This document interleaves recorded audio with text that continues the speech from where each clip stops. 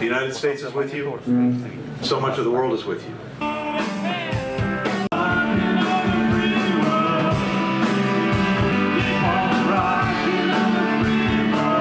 拿起红色吉他，一展磁性嗓音，在全世界边外交边唱歌的美国国务卿布林肯，最新唱进乌克兰首都基辅酒吧，在俄军推进攻势之际，突袭访问当地。最后帅气刷吉他，赢得满堂彩。事实上，布林肯对音乐的热爱早就名闻天下，去年就在国务院晚宴上献唱经典蓝调歌曲。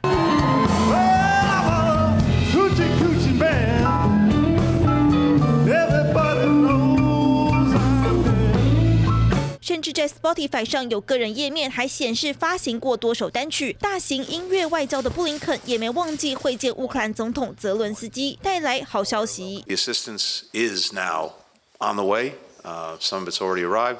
More of it will be arriving, and that's going to make a real difference against the ongoing Russian aggression uh, on the battlefield. Came especially these days to support Ukraine. Thank you for this signal. 而在美乌密切互动之际，俄罗斯方面传出总统普丁大动作撤换国防部长，甚至还想到北京搬救兵。中国外交部宣布，普丁在五月十六号出访北京，并拜会中国国家主席习近平，让美国国务院开酸，似乎是对战争感到绝望，不得不伸手求援。